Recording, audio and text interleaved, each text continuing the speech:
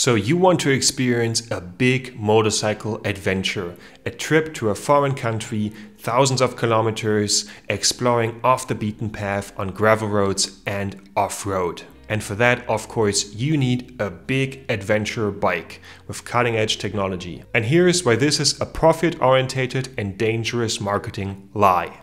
And with that, welcome back to the Free Miles MC. So what does the term adventure bike actually mean? Adventure, if you look at the average advertisement for a bike like this, seems to be defined by riding off-road and on gravel roads. And to do that, you apparently need a top of the line engine with loads of power and loads of electronics to help your explorer desires. So how much of this actually holds up with the reality of a big motorcycle trip? So first of all, let's talk about power.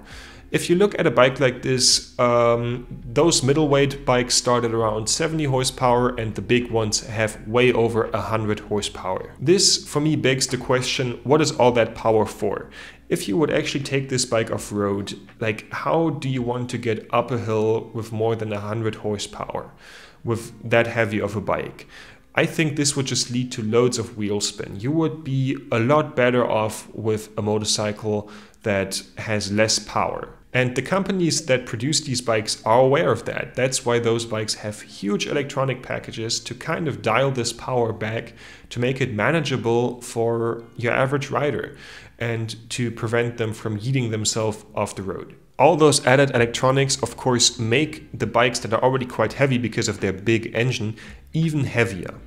This kind of leads me to my next point. Many of those motorcycles are over engineered because all those electronics can become quite hard to fix if they break. Those components can be very great when they work, but when they don't work, they can actually stop your adventure motorcycle trip thing.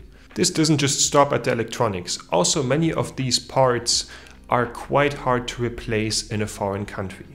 Even though something like a cardan of a BMW GS can have many advantages, just imagine trying to get that thing replaced in the middle of Africa. I don't want to guess here, but I guess it takes quite a lot of time for that part to arrive from Munich all the way to where you are. And I'm kind of picking on the BMW GS here, but this kind of goes for all modern big adventure bikes. Also, often all these great features sacrifice uh, simplicity that is well needed on a trip like this just for features that look really great on a list. Picking again on the BMW GS, the new one, uh, who needs electronic lifting kit for the suspension to make it easier to put the bike onto the center stand?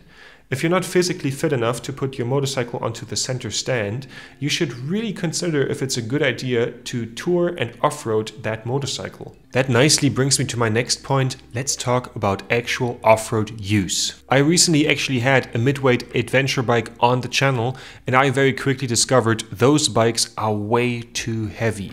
Even turning around on a normal forest road can become quite the headache as it's just too much weight to pull and to push forward. Those motorcycles can basically only be comfortably turned around with the power of the engine and for a move like that I personally miss the skill to do that on a bike consistently where if I drop it I have to pay for it.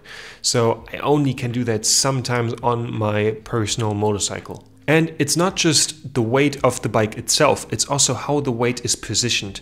Uh, for the sake of quite high ground clearance, the weight is very up at the top of those motorcycles. And I have a little bit of a controversial opinion on this. In my opinion, a decently off-road capable bike doesn't necessarily need huge ground clearance. So in my opinion, you could go with a very much lower center of gravity because uh, a motorcycle with less ground clearance still has an incredible approach angle and departure angle when you look at the trails you are realistically going to be riding that are also open in national parks. Also because motorcycles in general have a very short wheelbase, the break over angle is also quite good. Of course, with less ground clearance, you are going to have more issues on single tracks and that's not going to work that well. But who seriously wants to take a motorcycle with more than 200 kilos on a single track? And even if you want to do that, that's how that works on my naked bike. And I would say that looks alright for the things that you are going to do with a touring motorcycle. On top of that, if the center of gravity would be lower, this bike would be way easier to maneuver and to handle in difficult situations. For example, uh, if I on my naked bike have off-road problems and the bike starts to tip over, I can still catch that bike around the height of my knee. That's how far the bike can tip over where I can still hold it. Um, as you see here, if this would be a big adventure bike, this situation would have been over already seconds before it came that far. As you're just not able to hold a motorcycle with that high center of gravity. And when then a big adventure bike lays on its side, good luck lifting that thing. Those bikes weigh quite a lot of weight, and you could lift this motorcycle on your own on easy terrain, and with that I mean asphalt. And you could maybe lift it a few times, but as soon as you go off road and have to lift it repeatedly, that's when stuff really becomes difficult. And in general, there is this technique how you can lift a bike and many people say oh then it's so easy and th then there's this trick and then you can very easily lift a motorcycle. That's bullshit. That this technique is the only way you can lift a motorcycle. And believe me after two to three times of doing that you're done. Not thinking of a scenario like lifting this motorcycle in the sand on an uphill incline to make this whole off-road matter worse, those motorcycles don't come ready for off-roading from the shop, which you would think. The tires, even if they're something like uh, Pirelli Scorpion tires, kind of suck for off-roading. Those tires look quite knobbly, but they cannot handle sand and mud at all. When testing an ADV bike a, a few weeks back, I already had quite a big issue when turning around and driving into a mud puddle. So if you actually want to take this motorcycle on your big off-road adventure, you would need at least better tires and crash bars, because the reality of off-road riding is that you are going to fall. So let's ignore all the obvious off-road issues and just imagine for a moment that this bike can perform all these things that the advertisement promises here. How good would the actual usability of a bike like this would be? So in your day-to-day -day life, you of course also want to then explore a little bit your surrounding on that bike. Uh, those bikes are targeted towards the American market and the European market mostly, I would say. Here in Europe, in many countries, off-roading is illegal. Also going on gravel roads in many cases is illegal as those roads are restricted to agriculture use. And even if you then find a road that you can go on, which they, they do exist, uh, you then will have to deal with hikers. And for some reason, hiking just attracts the wildest people that think they're Liam Neeson as soon as they see a motorcycle or even a mountain biker. And that is a level of stress that is just very unpleasant. And I think everyone who has ever taken a bike to places like that, they can tell you about it. It just really sucks. So you cannot even really benefit from the bike where you live unless you take it to a proper enduro park. So let's talk touring. Of course, then when you're on the big tour, you're going to do loads of gravel roads and off-roading, right? Mm, not that much. The reality of tours looks quite a lot different. You're mostly going to be on roads actually because you're going to tour first through all the countries where often off-roading is even forbidden. And then even if you are in a country where this country kind of forces you to go on gravel roads because it's the only option, that's still very rarely the case. And even if you then have to go on these gravel roads, those gravel roads can be done by basically any other bike as well. I do those motorcycle touring videos on my YouTube channel because I'm actually trying to build a career out of this. And I have to say, I did about 2% of gravel road and off-road riding in the last year for this YouTube channel. And for me, it would not be worth getting an ADV bike because a sport tourer would always be the more capable bike for me as I am mostly on road due to the nature of being on a big tour. And if you then go off-road, it doesn't really often serve a purpose on that tour. It's just for a little bit of exploration and kind of half-forced adventure, and it's often not even all that fun. After just having stated that in many cases this bike from a usability standpoint would not make sense for adventure touring, uh, let's talk about the price you're actually going to pay for this. So adventure bikes start roughly at 10,000 euros when you're talking about something like a Tenere. Um, and then, of course, you still have to get all the bells and whistles to actually off-road the thing. And one of the bigger bikes, something like a BMW GS, can cost you up to 33,000 euros. That is just insane. And quite honestly, if you plan on doing an actual big trip and experience an adventure on your motorcycle, please spend that money on a trip. And if you look at the content of the video until now, I've been mostly complaining about false promises of the marketing here. And The marketing basically doesn't sell you a motorcycle, it sells you a feeling, the feeling of being an adventurer. This is bullshit. You're not going to be more of an adventurer or less of an adventurer with this bike. So let's say you're still getting one of these bikes for this money and actually use them how they are advertised. This will lead to those bikes dropping dramatically in value like a stock market crash. Because just imagine, just imagine you go out, buy a new BMW GS, and then actually take it touring. How many kilometers will you do in the span of two years? That is for a motorcycle probably an insane amount of kilometers, and those will not be the easy kind of kilometers you do from home to your job. Those will be off-roading. Then all the things that come with off-roading, uh, wear on all the different bearings. Those things need to be serviced. So the cost of service automatically through proper use becomes quite high. When going off-road, you of course have things like crashes and the general wear and tear of doing that. And then of course you also have difficult conditions like sand, river crossings, salt on the road in the winter, all that stuff. I would say that you can turn a top of the line adventure bike kind of worthless in the span of two years with this. Just imagine all the things that my Yamaha XJ has been through on this channel. Think about doing that to a new GS and then trying to resell it at your local BMW dealer. Also something that many people forget, many of those bikes quickly become write-offs when you use them like this. When going to a country that can be quite difficult to manage on a motorcycle like Iceland, and then on the way back on the ferry, uh, basically it becomes a middle-aged emotional support club uh, for people who just totaled their bikes. Because uh, after a trip like this, you see many bikes totaled.